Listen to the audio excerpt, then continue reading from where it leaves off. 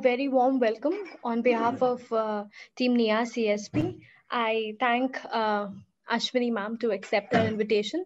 So thank you so much, ma'am. I'll now request Meera Kumar Menon, a doctoral scholar with uh, Team CSP, to please introduce uh, Ashwini ma'am and also the topic of today. Over to you, Meera. Thank you, thank you, Niharika, and uh, a very warm welcome to you, Ashwini ma'am. It is indeed our pleasure to have you here with us today. So a few words. Um, Ashwini N.V is the founder, director of Mukta Foundation, which is an organization committed to, to prevent interpersonal abuse and promote mental health. She was earlier a faculty member in postgraduate department of psychological counseling at Montfort College, Jain University, Bangalore. She is a counseling psychologist with practice and research interest in the area of prevention and prevention of interpersonal violence, such as intimate partner violence, child abuse, bullying, etc. She was recognized as one of the 100 leaders under 30 from across the globe for her idea titled Focus Formula to Foster Mental Health in Low and Middle Income Countries at St. Gallen Symposium, Switzerland in May 2015. Mukta Foundation was appreciated by Kailash Satyarthi, Nobel Peace Prize winner, for its collaboration with Young Indians of Confederation of Indian Industries for the project, a nationwide initiative to prevent child sexual abuse in September 2016. She is the recipient of Rotary Bangalore's Vocational Service Award 2018-19 for her work uh, in the area of training and promotion of mental health. In the year 2019, she directed a campaign titled Child Safety National Priority, where she traveled non-stop 90 days for January, from January 1st to April 1st, 2019, to all the 29 states and three union territories to conduct over 150 plus training sessions on prevention of child sexual abuse thereby becoming the first person to have done this consecutively in the country. So, so much about uh, Ashwini ma'am, and now we know why it is uh, such an honor to have somebody so spectacular with us today. And she will be talking about uh, a very, very sensitive as well as very important topic, uh, which is on child sexual abuse and interpersonal relationship abuse and so forth. So uh, we are very uh, glad and looking forward to hear you from hear from you, ma'am. Thank you so much, uh, Meera, for such a warm welcome. And uh, let me also thank Niharika for connecting with me and in turn connecting me with, uh, you know, all the participants in the event that's organized by NIAS CSP. You know, very happy uh, to be with all of you. And as I've been told to all the participants, we'll keep the first uh, 35 to 40 minutes. Uh, I'm going to introduce the topic and share a few of uh, my perspectives on it. Meanwhile, if there is any question, uh, any comment, uh, anything that you've observed that you wish to share, feel free to, even during uh, you know the first segment of today's program. But at the end of the program, about 15 to 20 minutes, let's keep it exclusively for interaction. Yeah, so you can either uh, unmute and speak, or uh, if you're comfortable leaving uh, a comment or a question on uh, the chat box, I'd be happy to also uh, look at your comments there. So let me uh, begin this, you know, the session. I'll share the screen and you confirm whether you're able to see it. Yes, ma'am. Are you all able to see this? Okay, yes, great. Yes. Okay. Um, so my organization, Mukta Foundation, we have two objectives. One is prevention of interpersonal violence. And then we also uh, aim at promoting mental health. The reason why we've brought these two objectives together is because we believe that they are related. And how are they related? In a uh, inversely correlated manner. So what does that mean? All our efforts to prevent interpersonal abuse would contribute you know indirectly to the promotion of mental health. And all our efforts to also promote mental health would uh, you know uh, contribute to prevention of various forms of uh, you know uh, interpersonal violence. Now i'll first talk to you all about how violence in itself can be categorized. Yeah?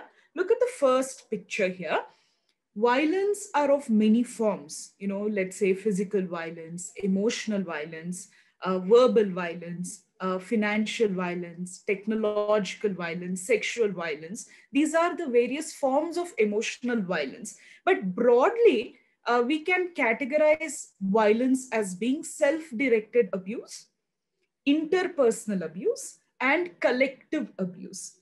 Now, what do I mean by uh, self-directed abuse? Uh, look at the word self-directed abuse. What does that mean? These uh, abuse, uh, the examples of which could be uh, self-harm, right? Self-harm is an example of self-directed abuse or even suicidal, uh, you know, behavior is an example of self-directed abuse wherein you're harming, you know, oneself. On the other hand, interpersonal abuse, what does it mean? It means any violation of rights or boundaries, and it can also escalate to the level of intense violence, like that of murder, you know, rape.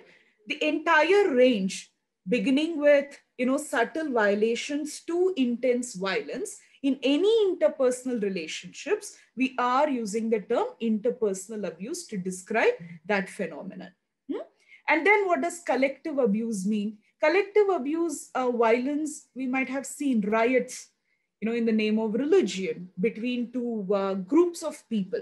When collectively there is violence from one uh, group uh, towards the other, we call it collective abuse. But today, what we are going to uh, focus on is what I've highlighted as interpersonal abuse.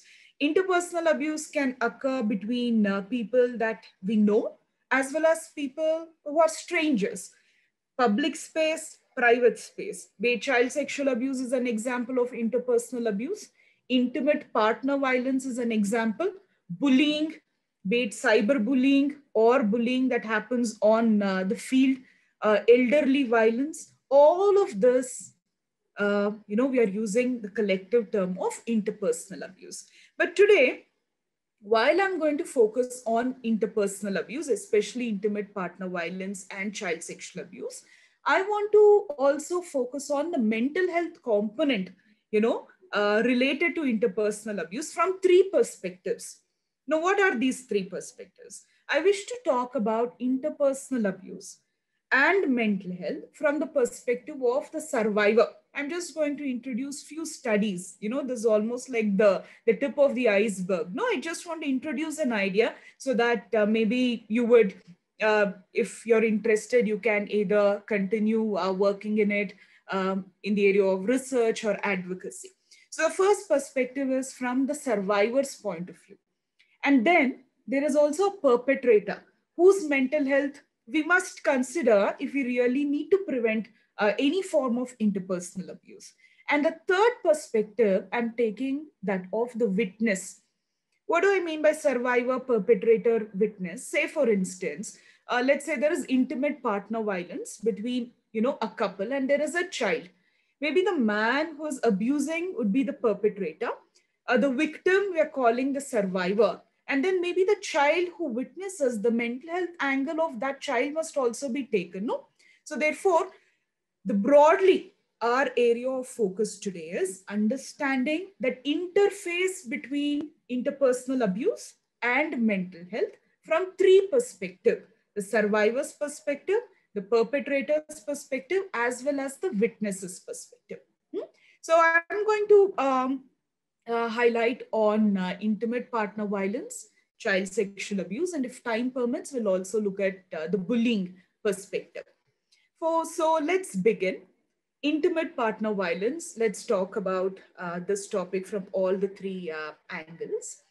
I'm just introducing few concepts. You know, I'm introducing few concepts. This first slide uh, that I have on intimate partner violence is from uh, the, per, uh, the perpetrator's angle. Look at this, the first, uh, the component that I have. Uh, I'm sure you're able to see the three terms here. Family only batterer, dysphoric borderline batterer, and antisocial batterer. All of these uh, categories of batterers are engaging in domestic violence, intimate partner violence, let's say. But what about these typologies? Why am I speaking about this? Now, this is proposed by Holtzworth, Munroe, and Stuart. They made an attempt to uh, understand the broad categories of batterers in connection to mental health. Look at the first category, family only batterer. Hmm? This family only batterer? The family only batterer is engaging in abusive behavior only within the family. They could also be coming across as being a gentlemen outside. You know, sometimes uh, maybe in their office, if somebody learns that this uh, batterer uh, is being extremely abusive towards the spouse, maybe people in the office will not even uh, trust your words because they have such an image outside. Higher are the chances that family only batterers, right? They don't suffer from any psychopathology. You know, they are perfectly aware of the relationship dynamics. They believe that somebody at home, maybe the spouse or the child, is somebody that they consider in their mind to be inferior, powerless, and therefore they're being violent uh, in the home front. So they are the family only batterer. What did I say? Higher are the chances that they do not suffer from any psychopathological condition. Now look at the second uh, the category according to uh, Holtzworth, Munroe and Stuart. They're talking about dysphoric borderline batterer. Now this group, there could be, you know, a possibility of a mental health concern. Uh, these are the people sometimes who would kill with their love. You know, you might have uh, come across incidents where an extreme possessive, you know, they're so possessive and that in itself creates a claustrophobic environment for uh, the person living with. Dysphoric borderline batterers sometimes may suffer from uh, dependent personality disorder. Sometimes they could also be suffering from borderline personality disorder and in connection to that, uh, let's say substance abuse. Hmm? An example I will give, an example could be, let's say, uh, somebody is married uh, to a person with this particular, uh, you know, the mental, uh, the framework uh, here is a person who would say, you know, I love you so much that I cannot live with you even for a day. So please don't go to your uh, mother's parents' place or don't meet your friends. 24 7, you need to be with me. To begin with, maybe the person could be like, okay, you know, this is an expression of love. But imagine 24 7, this person, the survivor, is disconnected with everybody the family of origin, you know, the friends, colleagues, so much so that, you know, these individuals are thinking that maybe this lady in this case is uh, not interested in connecting with them. And then what can happen is the abuse can intensify. And then are you able to imagine what happens to the survivor? Now the survivor is isolated from everybody, you know, and then is stuck exclusively with the perpetrator. But look what the perpetrator did. To begin with, it did not even come across as violence, right? it almost felt like, please don't go. Without you, I can't live. Now, if somebody makes an attempt to move, it's like, if you go, I'm going to attempt suicide. You see, for all you know, there is a mental health condition that is probably undetected, but mostly, mostly it could be schizoid personality disorder or uh, borderline uh, personality disorder, even if it's not to the extent of a disorder, but we could see certain traits of which which is uh, making the relationship an abusive one. And then look at the last category, antisocial batterers. You know, uh, I, I came across a study which pointed out how, um, let's say uh, during pregnancy and delivery, right? You know, the number of deaths that's experienced among women, that's lesser than uh, the number of women who are dying in the hands of the batterer. It's not an age where uh, death is you know the common among women. And yet because of domestic violence if they are dying for all you know they are then living with somebody who could be considered an antisocial batterer. Who is this antisocial batterer antisocial batterer are definitely uh, suffering from uh, you know severe uh, psychopathological condition maybe an antisocial personality disorder, or you might have heard of psychopathy and sociopathy, right? So much so that their behavior also has a, a legal repercussion. They are the ones, see, unlike family only batterers, who are only abusive inside the family, right? Antisocial batters also have problems in the society. They are abusive, they are violent towards people at their home, as well as they're violent even in their uh, the workplace. So you see, when we are looking at intimate partner violence, if we do not consider the mental health perspective of the perpetrator, how can we be even addressing, you know, prevention of intimate partner violence? Yeah, think about it. Hmm? This is one, uh, you know, idea I wish to uh, share. The other idea is, see, every time we're talking about domestic violence or intimate partner violence, we usually talk about PTSD, right? What is PTSD? Post-traumatic stress disorder. And usually we talk about it from the survivor's perspective or the witness's perspective. But I want you to also uh, remember there's a lot of work that's happened in the area of look at the word that I have put on the screen perpetration induced traumatic stress. You know, this is like uh, we're killing, we're harming somebody causes the perpetrator harm. PTSD, that's there. You know, victim's perspective, it's widely spoken. But look at this traumatic stress. This traumatic stress is experienced by the perpetrator just recollecting that I am being so violent. The initial uh, the studies uh, were with uh, combat veterans or police uh, who are in uh, the line of work. Hmm? Or I think there are a couple of studies on uh, medical professionals who are, you know, for medical reasons engaging in abortion, you know, the, that work. But there's also, uh, you know, uh, studies which are looking at what is the trauma that's experienced by the perpetrator of domestic violence. So sometimes, in order to desensitize themselves, imagine uh, here is a perpetrator who is you know physically sexually assaulting the victim you know and then to desensitize himself or herself they might engage in the same behavior over and over again sometimes have you seen you watch a horror movie the first time it's scary. The second time mm, you can still manage. By the third time you could be cracking joke and watching the movie and nothing happens. Why? Because you got desensitized. What was horror can no longer seem horror. The same thing can happen even for the perpetrators. They may engage in more the frequency, you know, of uh, victimizing somebody so that they can overcome their own traumatic stress. Yeah, look at uh, it from this perspective as well. Okay. Now let's move on to uh, the perspective of the victim. I'm sorry for that picture, you know, but imagine uh, there are uh, victims of domestic violence who continue to stay in the abusive relationship for all you know because there is this syndrome called the battered women syndrome look at this what's this called battered women syndrome we usually talk about battered women syndrome uh, in the context of ptsd itself but it is something that we need to further focus why because a woman who's battered over a period of time may come to believe that somehow the violence is their fault.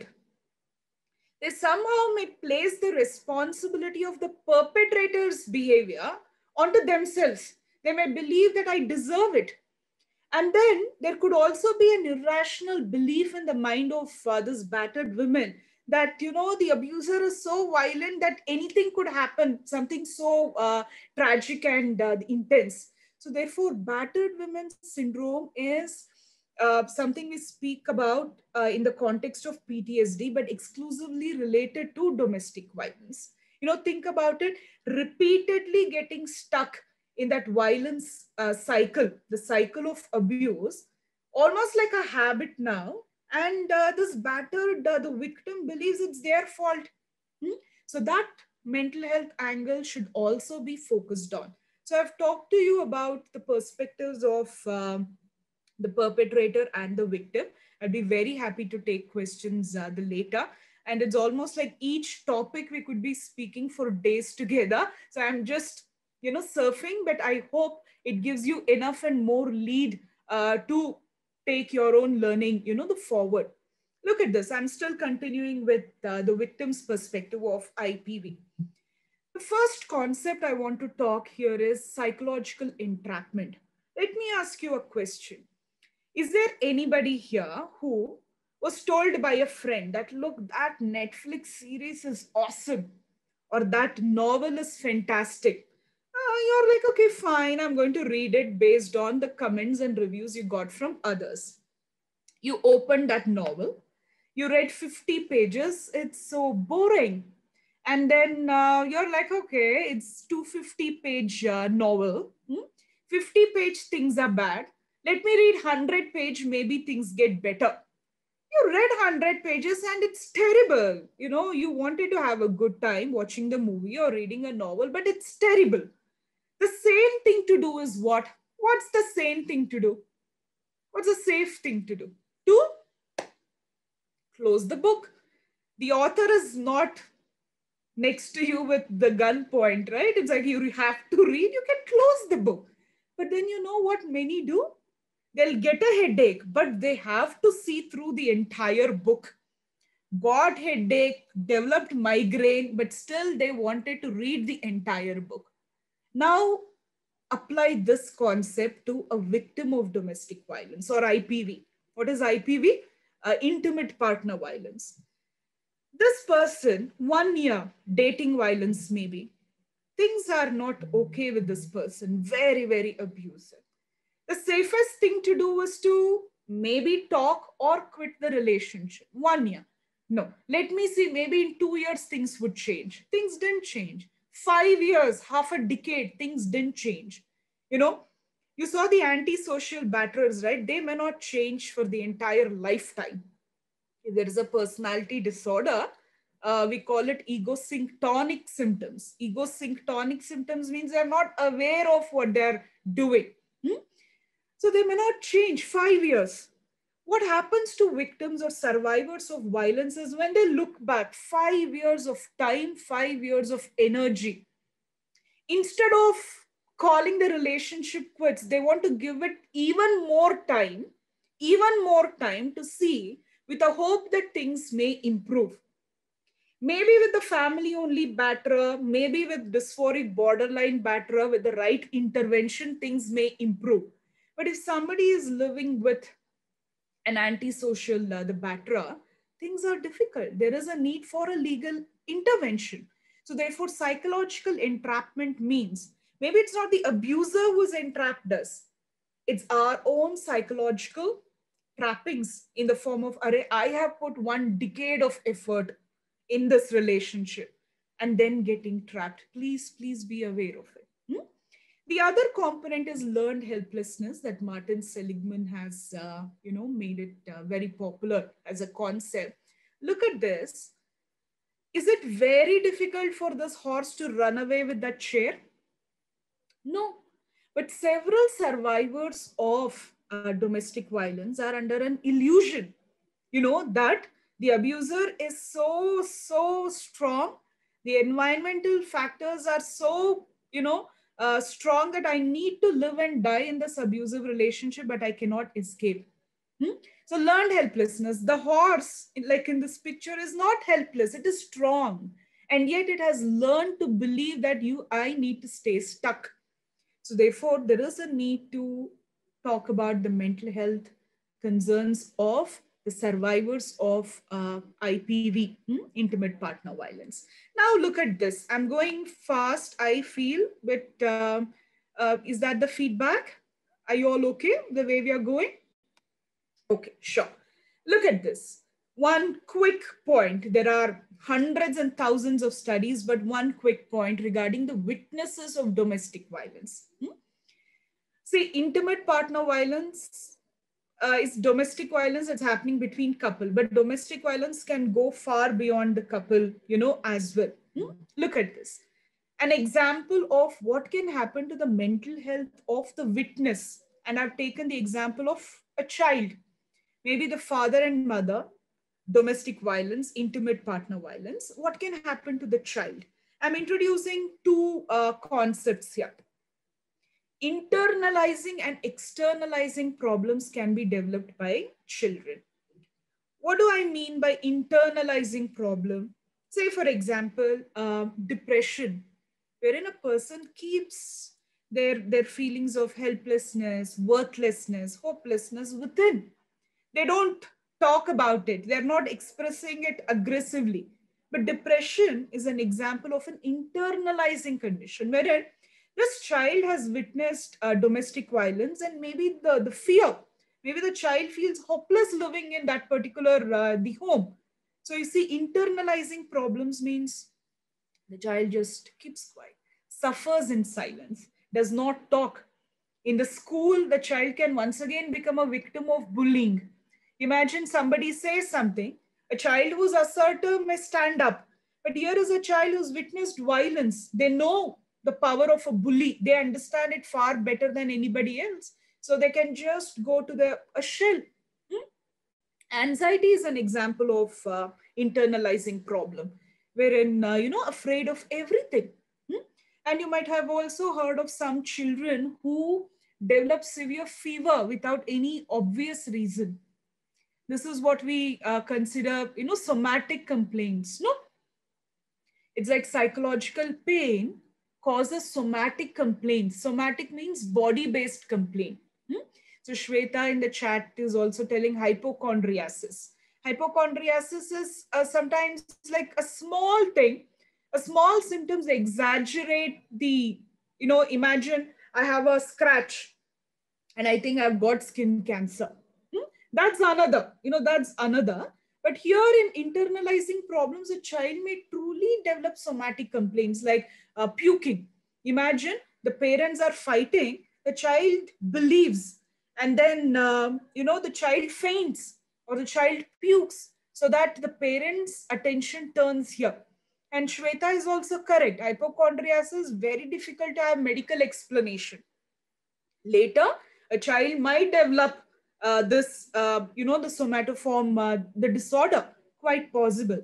So you see a child who's witnessed violence can either develop internalizing problems or externalizing problems. What do I mean by externalizing problems? Aggression.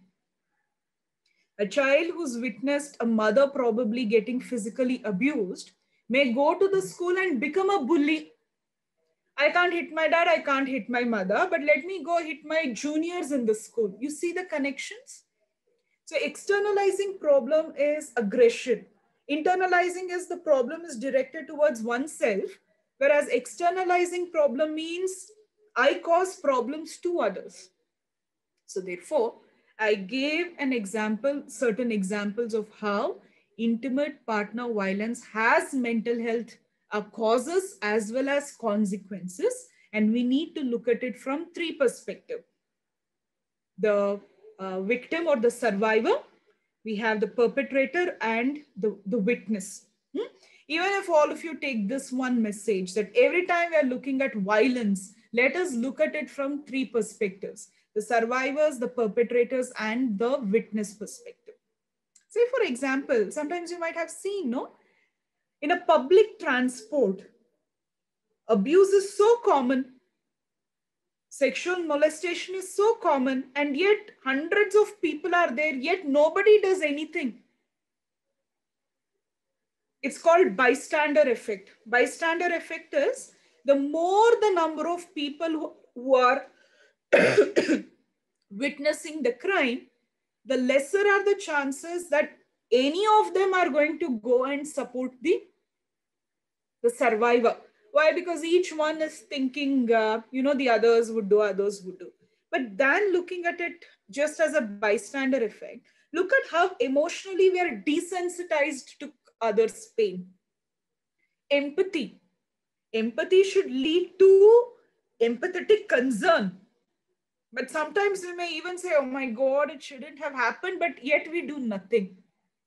So if empathy does not translate to compassion in the context of abuse, if empathy causes oneself distress so much so that we sympathize with the victims and do nothing, then what's the point of that empathy? No, think about it. Hmm? So therefore, witnesses is a neglected area and we really need to uh, look at it. Hmm? So let me move on to the next topic. I don't know how we are doing on the time. I see that uh, already it's half an hour. Uh, let me take another uh, 10 minutes and then maybe we'll open it up for uh, the interaction. Yeah. Okay, my screen got frozen. Just a second. Can you all see the screen? Uh, yes, we can see the screen. I'm unable to um, move on to the next. Um, oh. One second. I'm unable to move on to the next slide. yes. Okay, no idea what happened. All right. Now can you see? Uh, yes. All right, sure. I, I can't move for some reason. All right, then, if I'm not able to uh, share the screen, then let me go ahead. Ma'am, should I share that? Yeah, now you can see, no? okay. See, now I'm going to talk about child sexual abuse. And now let's look at child sexual abuse from the perspective of, uh, you know, the perpetrators, the victims, and uh, the, uh, the witnesses. Look at this. On this slide, uh, even though there is no clear uh, bifurcation on the victims, the perpetrators, but it's going to touch upon uh, both these aspects. This is one study which is speaking about how, listen to this, those children who experienced both emotional abuse as well as sexual abuse during their childhood, they had an increased chance of poor mental health. And they further, when they grew and when they became adults, they started having sexual contact with children. You know, so what does this mean? Somebody who was a victim of child sexual abuse as well as were emotionally abused depending on where they lived, there was an increased, you know, the chance of such children becoming adults with poor mental health, as well as these adults later began to have sexual contact with children. Yeah. What does it mean? This is a study which is pointing at a victim becoming a abuser. Maybe a child who was sexually abused, if they had received the emotional support, maybe they could have recuperated from the trauma. Maybe they could have become adults who could have channelized what they went through into something constructive. Maybe they could have, uh, you know, did campaigns on uh, protecting other children. But here is an example, you know, a study indicating how a child who was sexually abused as well as emotionally abused when they turned adults, the poor mental health was given as well as they in turn began to abuse children. This is an example of how a victim can become an abuser. Yeah, look at it. Why? Because when the child was sexually abused, there was no emotional support. Maybe look at it. And then in the second study, what I'm pointing at is, uh, you know, the suicidal behavior among those who were sexually abused as children. This is a study which is looking at uh, male, you know, the children who later, when they became adults, they had uh, suicidal, uh, you know, the behavior.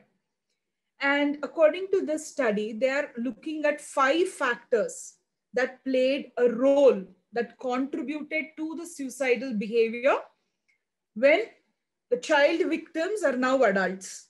Yeah, are you all understanding? We are looking at male, you know, adults now who've engaged in suicidal behavior. And the study is pointing at five factors which are playing a very important role. First, the duration of the sexual abuse. What does this mean? The longer the sexual abuse lasted, the correlationally higher are the chance of suicidal ideation in adulthood. Hmm? Look at this. Duration of sexual abuse. Sometimes it could be a one-off, but sometimes it can last for years. I remember there was this one case from Chennai. Uh, I, I think it was like two or three years uh, back. This 12 year old girl, okay, who was auditorily challenged. Many of you might remember this case. There was this report that close to, I'm not sure about the number of uh, perpetrators, close to 16 to 22 abused this girl who had an auditory impairment and where was abuse happening well within the confines of her apartment complex who were they who were these people the security guard the gardener the plumber the lift operator you know And then you know how long abuses happen? For six to seven months and nobody realized.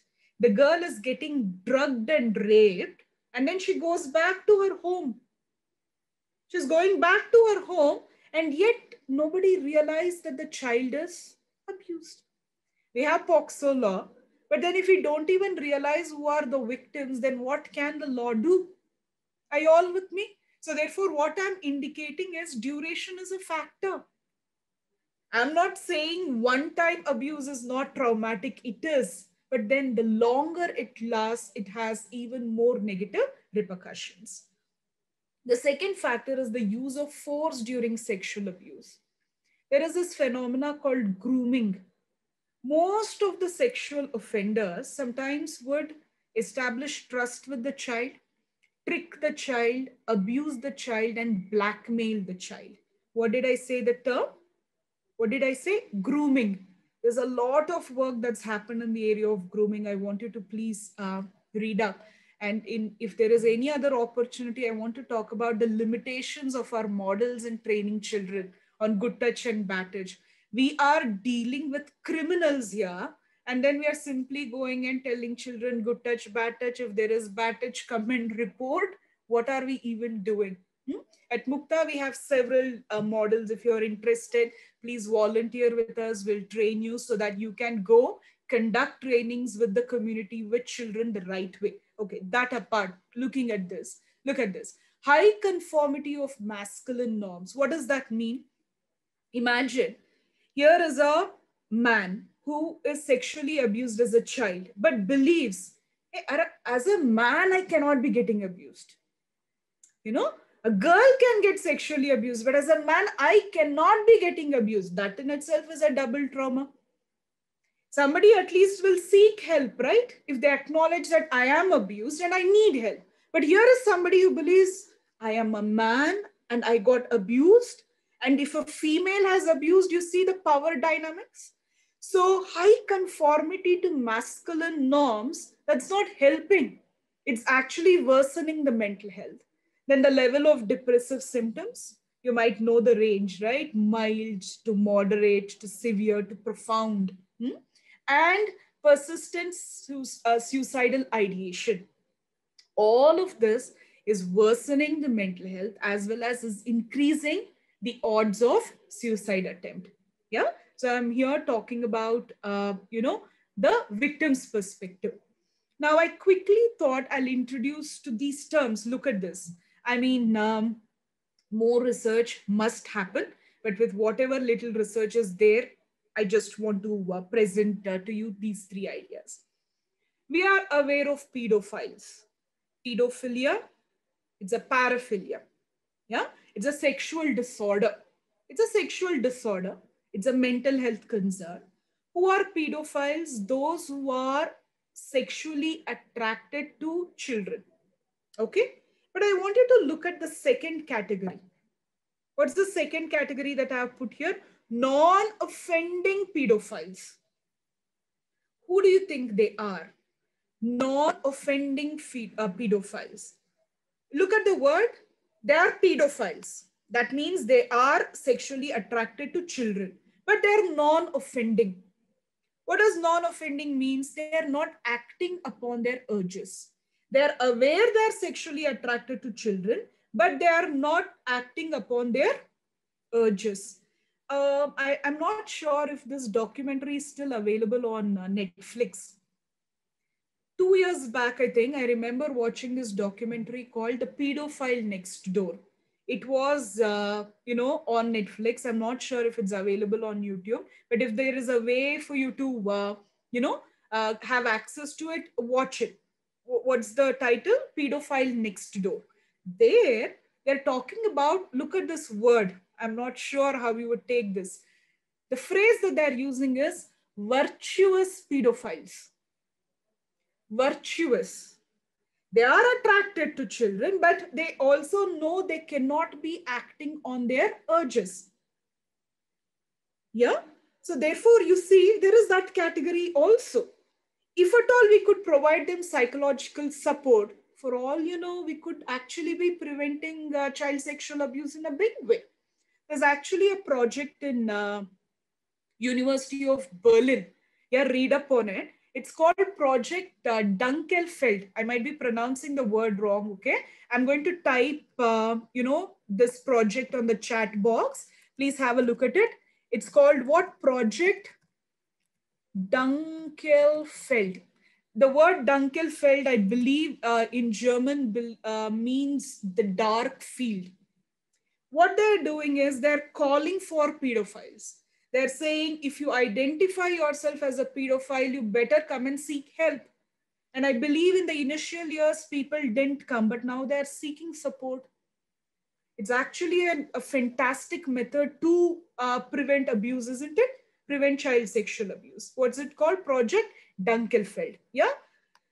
A non-offending pedophiles. And then we should also be talking about, listen to this phrase, non-pedophilic child sexual offenders. What is this? They're not suffering from pedophilia. Okay? But yet they are child sexual offenders. What could be the reason? Sometimes revenge. Cases of revenge. The father of the child, this person has a problem to take revenge on the father, the child is getting sexually abused or under the influence of a substance. Are you all with me? So you see, there are pedophiles, but it's equally important that we talk about non-pedophilic child sexual offenders. Yeah. Uh, once again, my slides got stuck, but okay, that's fine. I'm uh, going to talk about, see, uh, we need to talk about the non-pedophilic child sexual abusers. No, somebody's work that I have, uh, you know, immensely uh, admire is Finkelhor. Okay, he's an American uh, sociologist, Finkel Hoare. I might be pronouncing the name wrong, but with all, you know, he talks about the four preconditions theory, a fantastic theory. You know, of course, there's a lot of uh, the critique, but I want you to, it's because of the paucity of time, I chose this theory. He talks about how there are four factors that are important for child sexual abuse to happen. First, he says, the abuser must be motivated to do child sexual abuse. So the first factor is what? The first precondition is the motivation of the offender. Maybe there are multiple factors which can motivate the abuser. One could be maybe the child serves an emotional you know, the purpose for the offender. Maybe uh, imagine somebody who feels powerless wants to feel powerful. Now, when they engage in sexual activity with another adult, maybe they don't feel powerful. So they are victimizing a child. So maybe there's an emotional congruence there, or because of the pedophilia, you know, sexual disorder, maybe there is sexual arousal. You know, you see, the first factor is the person is motivated to commit this crime, you know, motivated to for abusing a child. That's the first factor. The second factor is this person must overcome internal inhibitions, right? We are all children and we know the dependency, the innocence of children. And yet this adult is engaging in that behavior. That means the second precondition was met. What's the second precondition? Overcoming the internal inhibitions. Essentially, silencing the conscience, silencing the guilt. How can this happen? Sometimes uh, alcohol, substance, or sometimes, you know, you might have seen uh, the mob mentality, right? Maybe somebody is telling, no, no, we cannot be engaging in gang rape, but three people will suppress that voice. So you see, the second precondition is overcoming the internal inhibitions. Okay. Now the third precondition is overcoming the external inhibitions, inhibitors. What are the examples of external inhibitors? If there is a child who has adult supervision, if there is a child who is living with adults who are taking care of the child, not neglected. That in itself, you know, when the government says put CCTVs everywhere, of course, that's not the solution like it's made out to be. But then it is one way that we are saying the external inhibitor is there. You better be aware of it. Okay. And then the fourth precondition is the abuser overcomes the resistance of the child. Sometimes when children don't know what's happening to them is abuse, how and why would they resist? Now, if anybody is interested in knowing how do we train, you know, the children, please connect with us. We are going to train you and then, uh, you know, uh, a number of projects, you know, you could engage. How to train children, that's important because even if the first three conditions are met, if the fourth precondition is not met, abuse can still not happen. Okay. Now, all these preconditions, shouldn't we be considering the psychological perspective of the abuser? Yeah, it's very, very important. Okay. So I've touched upon uh, these two perspectives, we can certainly go on and on and on. Sometimes I have the habit of making it seem like my clock is stuck and I still have half an hour or one hour, but let me not be that liar today. And uh, if there are any questions I would like to take, there are two more, uh, you know, the slides that I had, but I'm guessing, you know, through the questions, if I can uh, answer that, I will. Otherwise, I'll touch upon that component any any comments anything that you wish to share? Thank you so much ma'am for the lecture. I think uh, kanika has a question. Mm-hmm. um, kanika i'm trying to unmute you if you would like to speak sure yeah. sure sure hi ashwini i'd like to yeah, first hi. say that you know uh, you took a really difficult topic and put it across so nicely that you know we did not feel that it was very heavy so thank you for that Thanks, it's Kanika. not easy to talk about abuse in any form and you did focus a lot on children so thank you um, my my question is you know when i think back to uh, the older generation and even like like you know generations who are alive with us mm-hmm. it feels like there's a lot of intimate intimate partner violence that happens and has happened but you know is it linked to our patriarchal mindset wherein we think you know the men have ma- the man is all powerful and one way for him to show his power is um, to abuse to and of course abuse various family members in the house from spouse to children to everyone else uh, so I was wondering if you know that's uh, somewhat of a background when we talk Absolutely, about. Absolutely. You know, uh, imagine you know even uh, through the the conversation sometimes uh, intentionally even if i'm the one to say okay his or her you know uh, the abuser is male or female but everything said and done the statistics tell otherwise battered mm. women syndrome. I can say there are battered men syndrome. There are. But statistically you know the statistically uh, there is an imbalance and there is no denying it. Yeah. So therefore, uh, but what we need to acknowledge is those who are trapped in this patriarchal mindset, if they recognize that they are victims of a particular way of thinking, mm. at hmm. least then something, some change can happen. No, some change can happen.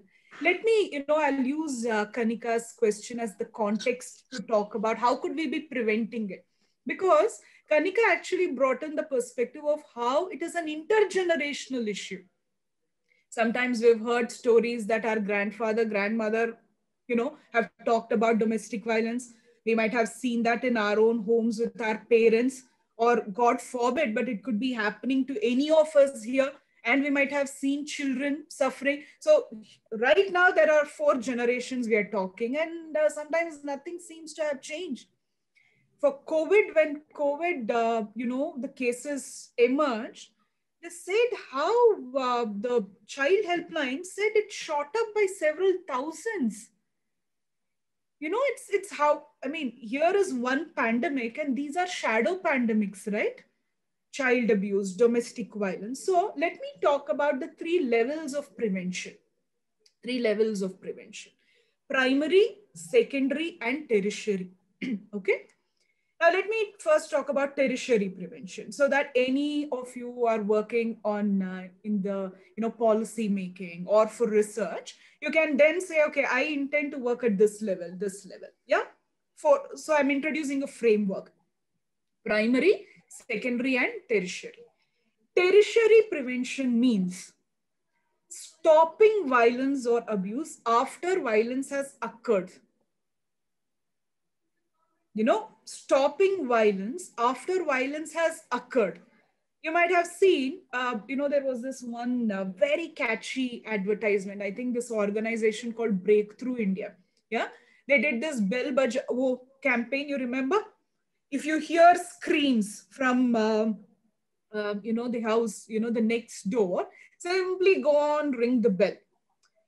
You're already hearing a victim, you know, the screaming. And uh, we know it's a collectivistic culture where we don't care what our family members think about us, but we really do care what our neighbors, you know, think about us. So go ring the bell. So that was one tertiary prevention method, no? Abuse has happened. We couldn't prevent it, but we went and stopped it from further happening. One example, but there are several other methods legal intervention, psychological intervention. But tertiary prevention means what? Abuse has occurred. We are going to stop it from further happening. Remember that case of the 12 year old girl that I said from Chennai? Six months. If you read qualitative research sometimes, you know, you hear stories where 20 years child has suffered from in silence. So tertiary prevention is equally important. Then there is secondary prevention what does secondary prevention mean? Nobody is a victim yet, okay? But there is a huge risk. The vulnerability is high. So when we work with that group where the vulnerability of either becoming a victim or a perpetrator is high, then we are working at secondary prevention. For instance, any child can become a victim of child sexual abuse, okay? But maybe a child who has intellectual disability is under more risk, no? Maybe a child who cannot see is under more risk, right? Or maybe a child who at the age of 12 is exhibiting conduct disorder, if there is no psychological intervention, can move on to be engaging in criminal offenses as an adult. So when we work with vulnerable groups, to either becoming a victim or, you know, a perpetrator. We are working at which level? The secondary level of prevention. Are you all with me? Now let's look at primary level of prevention. a primary level of prevention, what does that mean? We are going to train anybody and everybody not just the victims, not just the perpetrators or the vulnerable groups, the entire community. And I think uh, Meera, when she was introducing uh, me, she talked about a campaign that we did called Child Safety National Priority, wherein I traveled to all the 29 states. Okay, now 28 states, you know, 29 states.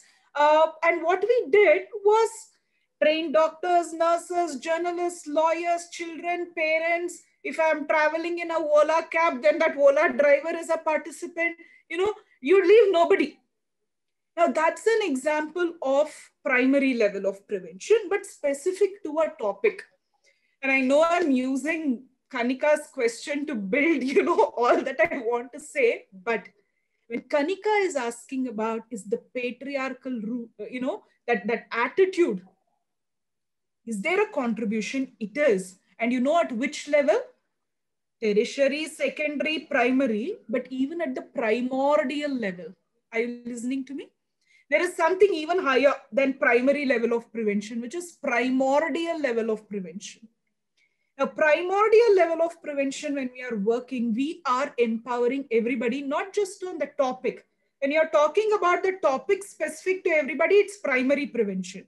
But primordial prevention means when you address that patriarchal attitude, which makes violence all right. You know, say for example, here is a family who don't sexually abuse, physically abuse. But uh, one day the women didn't cook. There is a cold shoulder. One day she was working on a deadline because a research article, there is a third review. She couldn't cook. Ordered back to back from Swiggy. Nobody said a word. It wasn't violence within quotes. But you see, that is at the primordial level That's at the primordial level. These are those subtler examples. It comes in, no? So therefore, patriarchal attitude, if we are challenging, we need, we need to better challenge it at which level? Primordial level. By the time it comes to primary level, I'll give you an example. I went to my school, Carmel Convent High School on Sarjapur Road. Okay, I studied there. A second, I told sisters, sisters, let's have all children together. You know, one exam, all children together. It's okay. We can talk about child sexual abuse. Sister said, no, no, no. It has to be separate. Girls separately, boys separately. I said, then uh, being denied of an opportunity to speak, let me meet these children separately. Okay. First standard, second standard, boys came. First standard means how old? Five, six year olds, no? This boy, he came. He started talking to me. Akka, why ka for us, this workshop? Girls, you go speak ka. You know, he's telling. How old is he? Six years. Six year old boy telling this topic of child sexual abuse is redundant to this group. Are you listening to me? What I'm trying to say here is you see, already at primordial level, we are a failure. This was a workshop at primary level. No, it was a workshop at primary level of prevention. That workshop is on child sexual abuse. The workshop was not on addressing these subtler aspects of girls are victims, boys are the perpetrators. You, that boy tells me later. But you see, at primordial level, we've failed. That attitude that Kanika mentioned is so, like they say, right? Brain is like a sponge, absorbed. so if we are fighting patriarchal attitudes, it's not when rape happens, the campaigns. That is important. But we better be fighting it at primordial level, no? So is there a relation? An absolute yes. Thanks for that question, Kanika. Thank you. Thank you so much, Kanika, and thank you uh, for elaborating on it and covering another important aspect, I believe. So um, I, I don't see any questions yet, but some comments uh, of being an excellent session, brief and crisp. The other Thank one is so a wonderful much. presentation. So I'll just request uh, Meera Kumar Menon to please uh, proceed with her comments and also uh, any questions if she has in mind. Um, Shweta, uh, we'll uh, come back to you after uh, Meera's comments. And also Sita, I see a hand raise. We'll come back to you. Meera. Great. Uh, thank you, Niharika. And uh, thank you, Ashwini ma'am. So beautifully, you have covered so many aspects. And some of the things that uh, I had in mind during your presentation uh, was um, I somehow uh, wondered what really goes on in the mind of these uh, abusers because um, that is one thing, like you said, which has not been studied that extensively, perhaps, or at least it is not discussed uh, extensively. Do people just wake up one morning and decide that, you know, today I am going to abuse somebody? And since you said that um, when it comes to family batterers, it is not necessary that they, I mean, it is not usual that they might have some sort of psychopathological issues. So, what really happens there? Uh, why, why exactly do they do it? And then coming to the next slide about um, mm, about the women or whoever it is, the victims who take it, uh, who have learned uh, these um, behaviors of uh, not resisting and just you know keeping on succumbing to it. What kind of people are more vulnerable to it, and why do they do it? Actually, I mean, to some extent, it is a learning process. But what what kind of people are more vulnerable to it, and why why do they do it?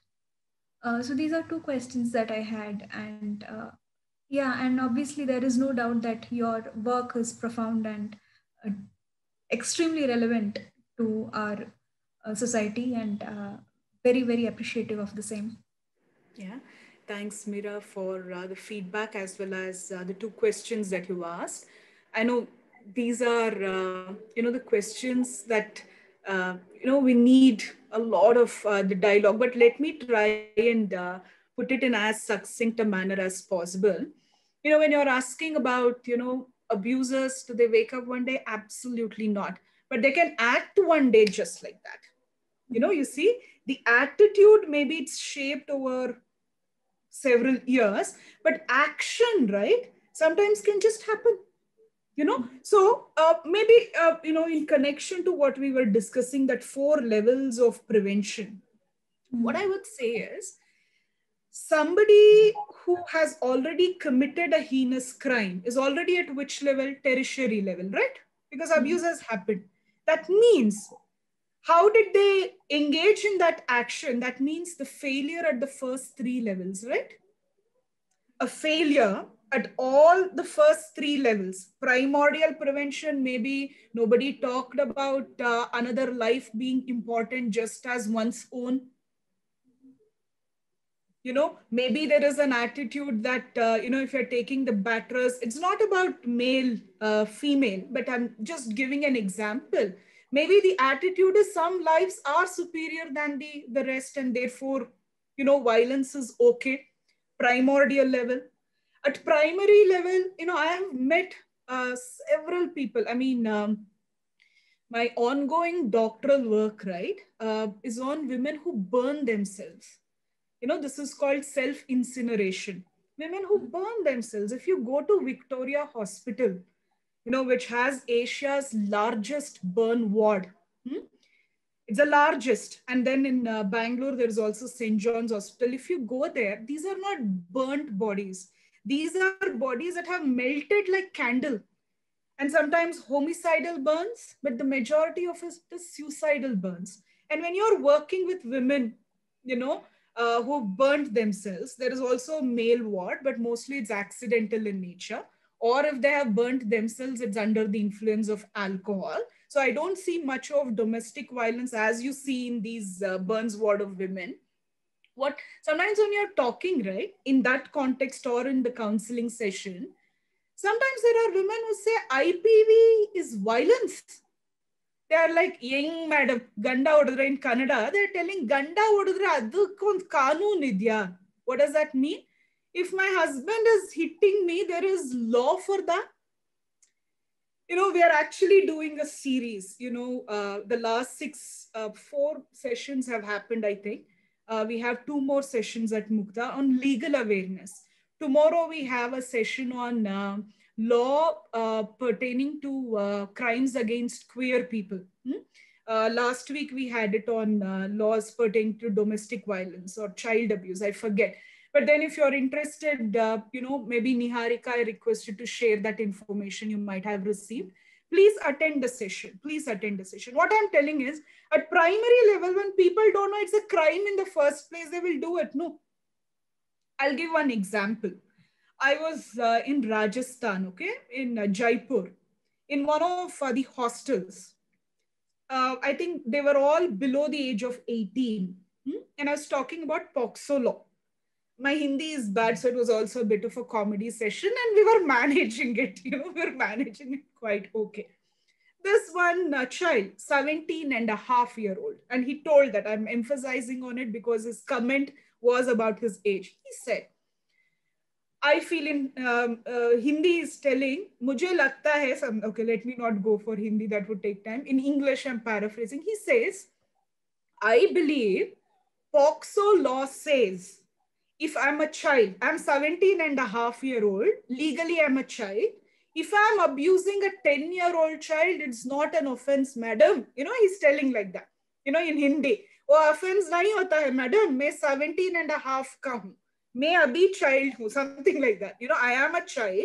If I am abusing another kid of 10 years old, that is not abuse. Now, is that what POCSO says? POCSO tells, POCSO is very clear. If you're 17 and a half year old and is sexually abusing a 12 year old, it is still offense. Where will you go differs.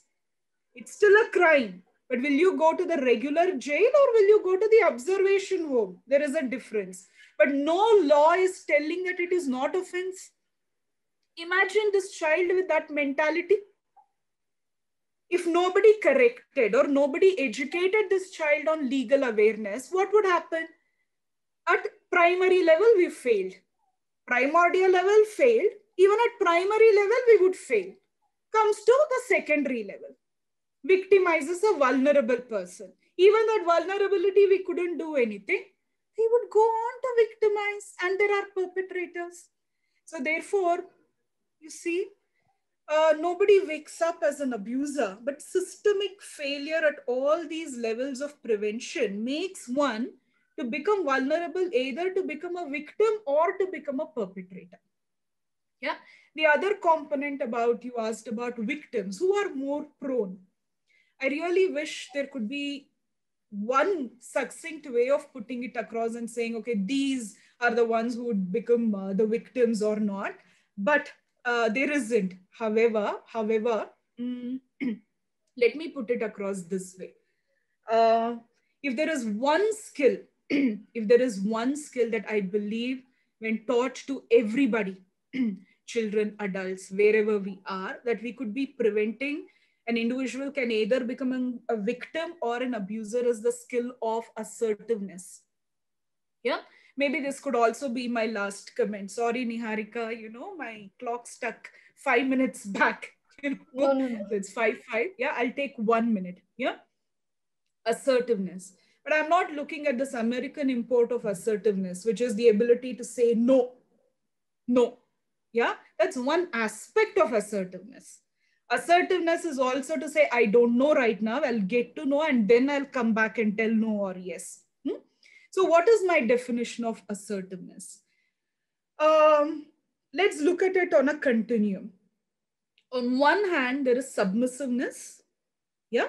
What is submissive? An individual with sub, uh, submissive personality, would they violate others' rights? Anyone? Would they violate others' rights? Would submissive individuals violate others' rights? They don't. They don't violate, you know. But when others are violating their rights, they don't know how to defend. Yes or no?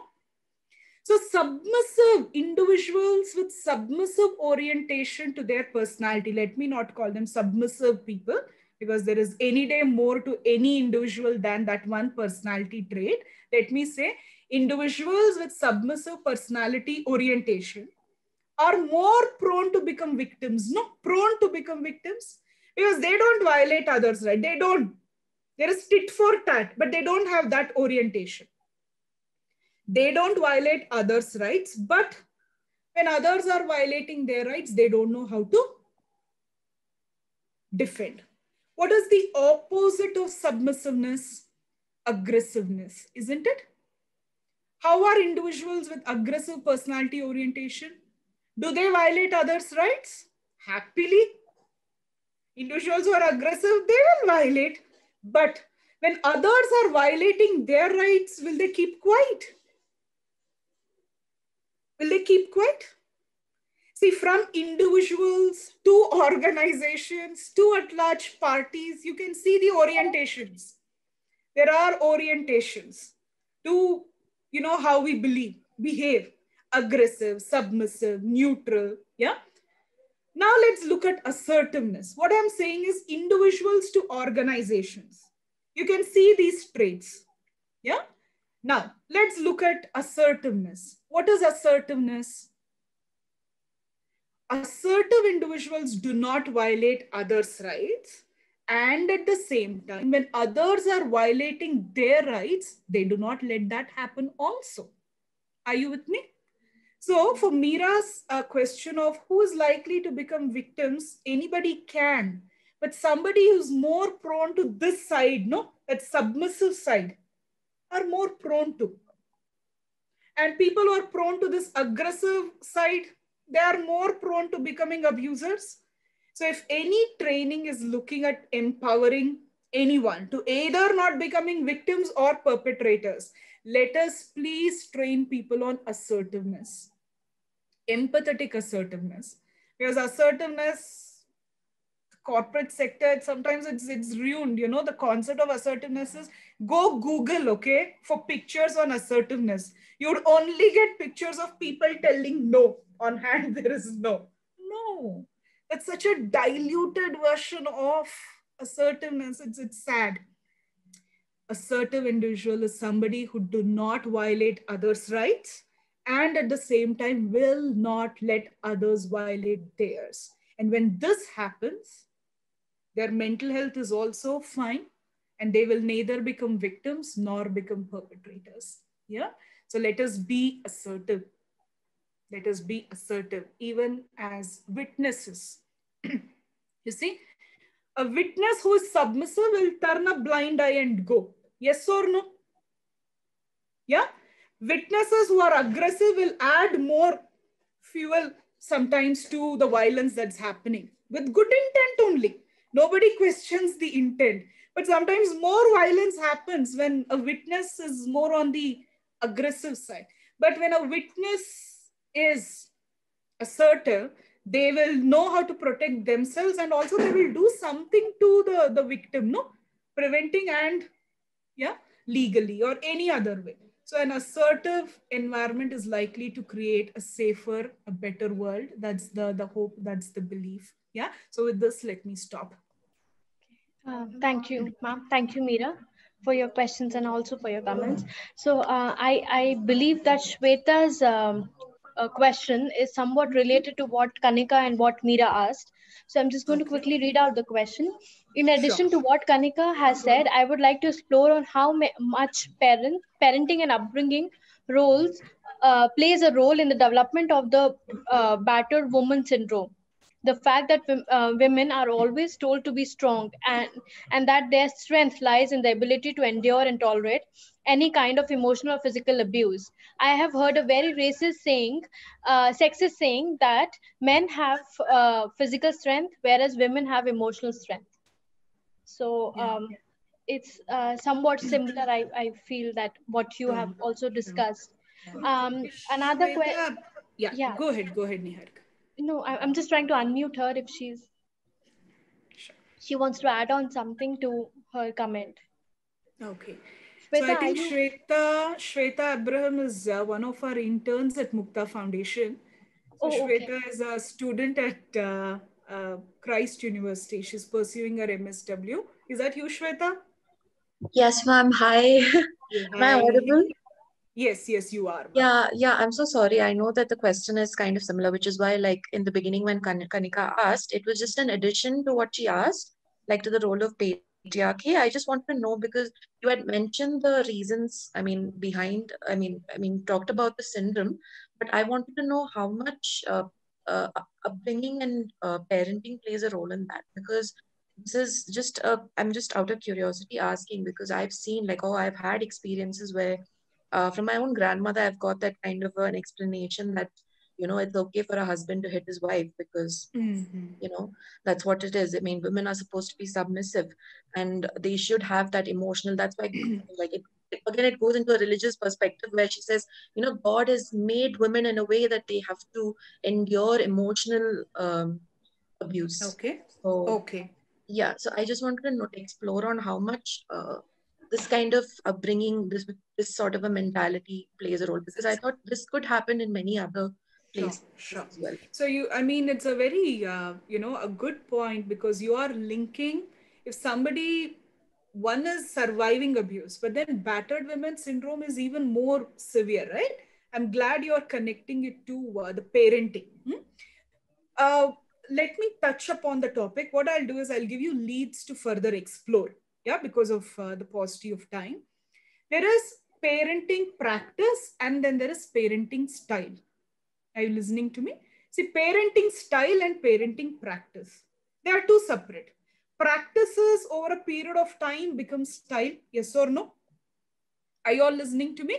Parenting style can be broadly understood as autocratic parenting. Yeah. Imagine, as the word suggests, if the parents were themselves autocratic. Imagine, I have met women or men also, uh, even though rare, let's we need to acknowledge, met individuals, let's say, where they say, Yes, my spouse is so cruel, but going back to my family of origin is not going to be any less cruel because my parents, when I got married, I thought I mean, I was escaping from one cage and then I ended up here. So I would rather die here than go back.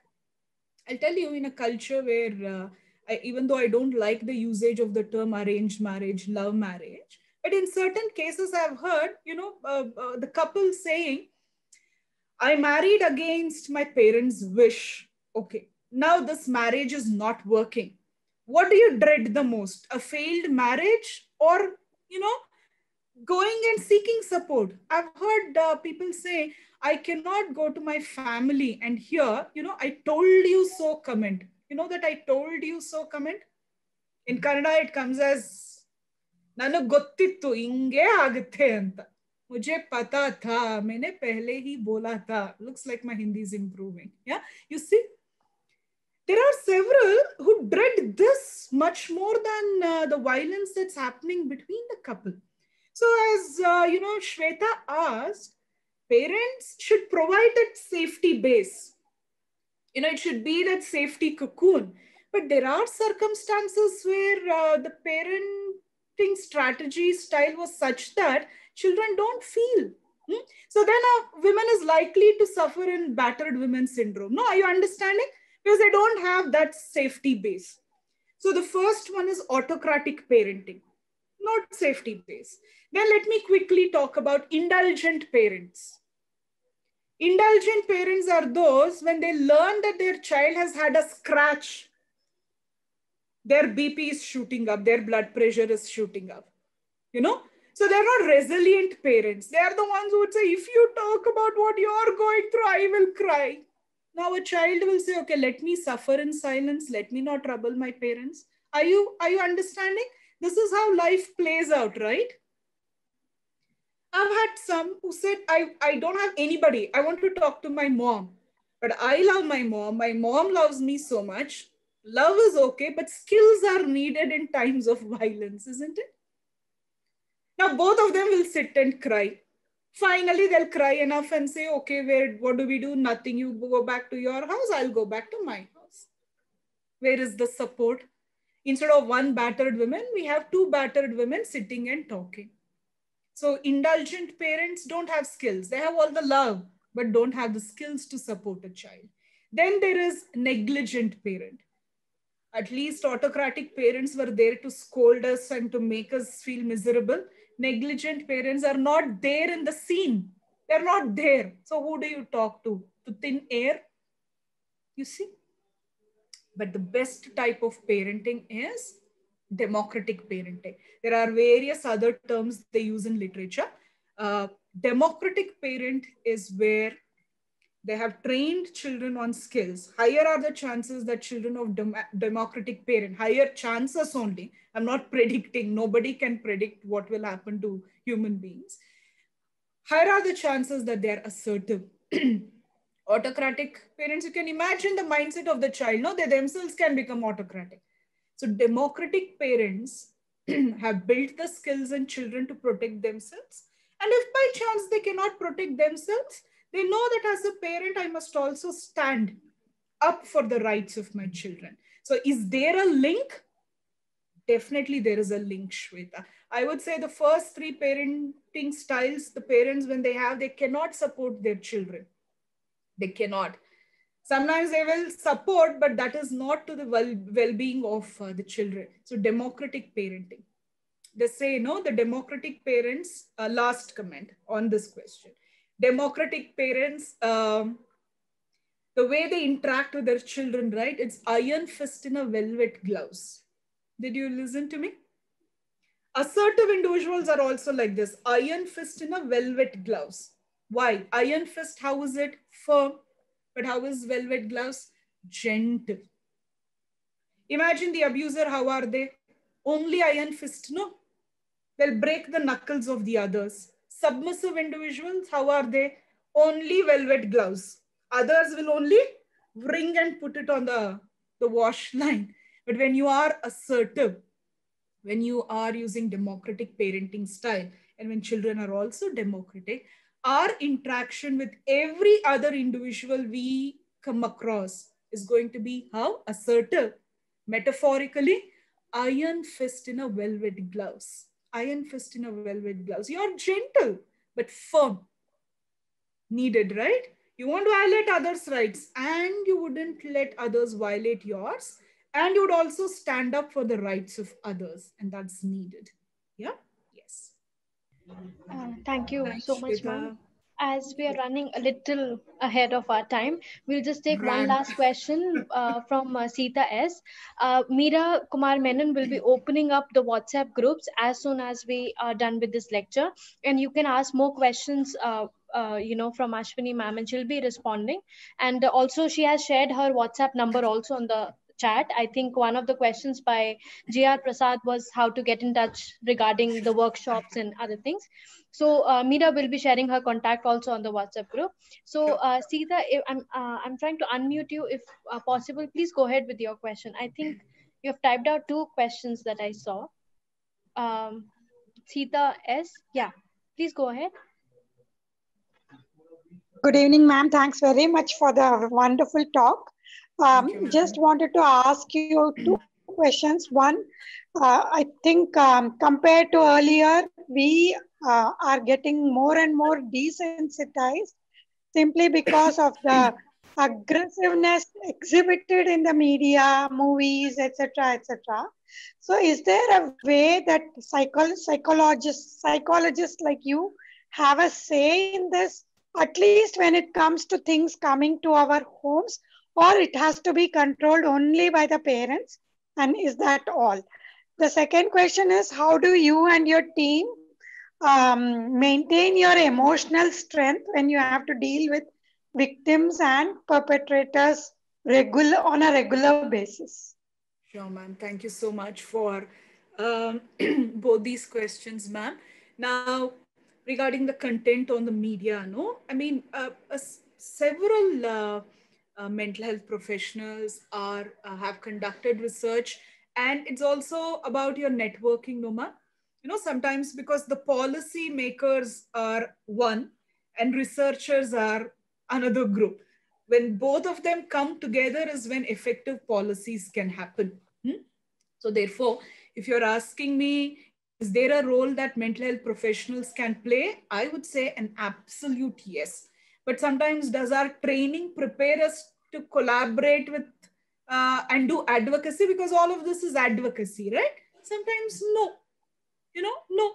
So what i'm saying is the world as we know it the problems the world has all of this requires interdisciplinary approach to tackle come up with solutions isn't it?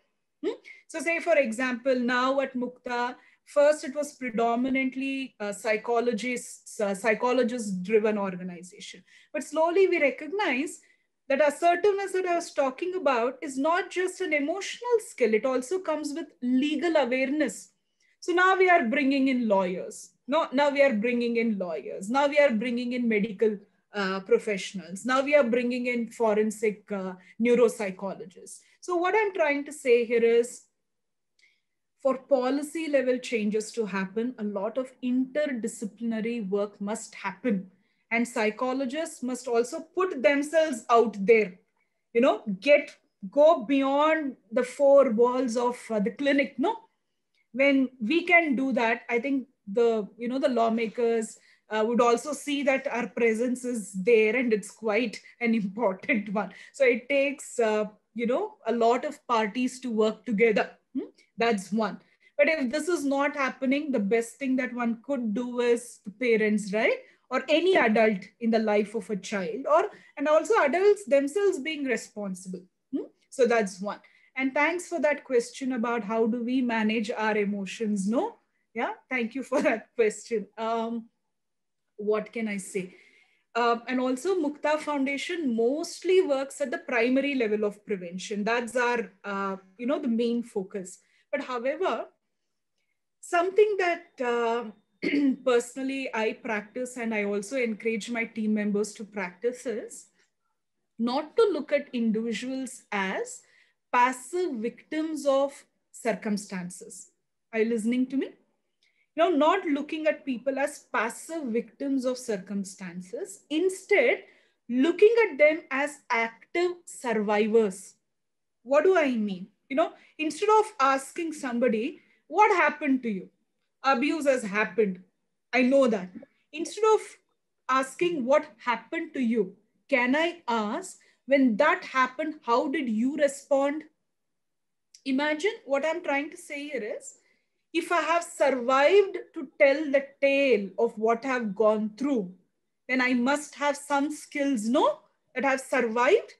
And when you look at that skill as somebody who's working with them, there's so much to learn. I mean, imagine a child who's six years old who was sexually abused tells that when I color, no, I'll forget the pain. You see that? Are you listening to me? Can an adult do that? Can I do that? I don't know. If I'm abused, I don't know. I can have that degree of resilience. I met children who say, you know, auntie, when you know when it was paining, I colored, okay, and I was okay. See that? Look at that resilience. So what I'm saying is, can we also focus on survivor stories?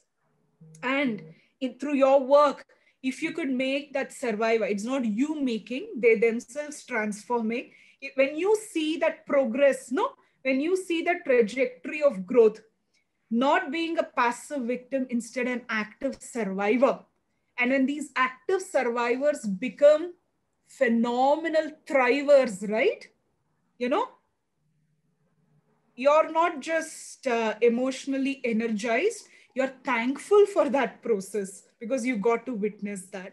And where there is gratitude, no, the energy comes to do more and more.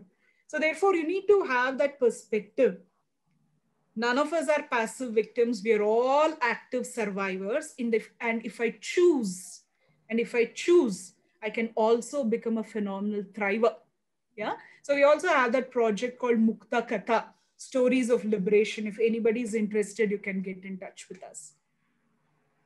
Thank you. So we all carry those stories, ma'am. Sita, ma'am, every time there's a story of abuse, we remember the other story of thriving and with every story, that's a possibility. So with that possibility, you know, we receive energy. Thank you so much, ma'am. Thank you, Sita, ma'am, for the two wonderful questions.